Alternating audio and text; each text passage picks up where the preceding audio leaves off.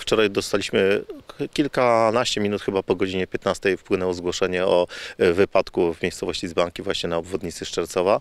E, Tam jest odcinek drogi remontowany, jest, e, że tak powiem, zamknięty jeden pas ruchu naprzemiennie.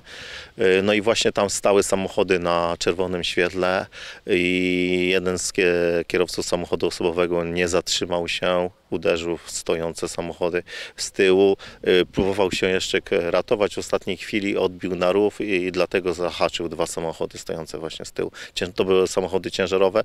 Niestety no niestety ten wypadek skończył się dla niego tragicznie, bo y, po kilku 15 y, no, minutowej tam reanimacji ratownik odstąpił najpierw od y, działań reanimacyjnych po wydobyciu, a później y, lekarz lotniczego pogotowia ratunkowego określił zgon po przybyciu na miejsce.